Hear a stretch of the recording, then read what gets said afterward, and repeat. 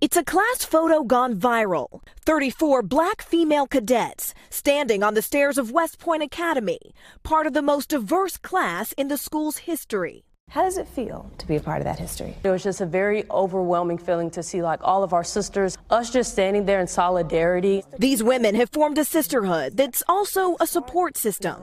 With more than 900 students in their graduating class, black women make up less than 4%. It hasn't always been pretty. When you say it hasn't always been pretty, what do you mean? There are some moments here where you feel like, oh, am I worthy?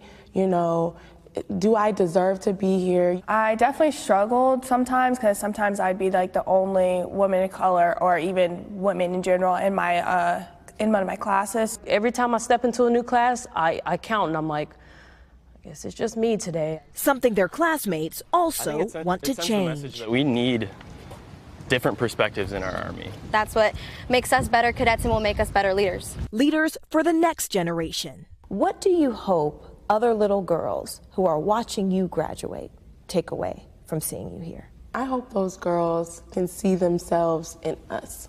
I want women to be soldiers. I want these little black girls and say, hey, I can do it too. I have the strength to defy the odds, which is what we did. We, we defied the odds. Morgan Radford, NBC News, West Point, New York.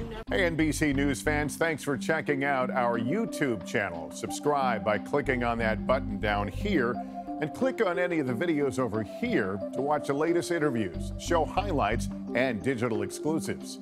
Thanks for watching.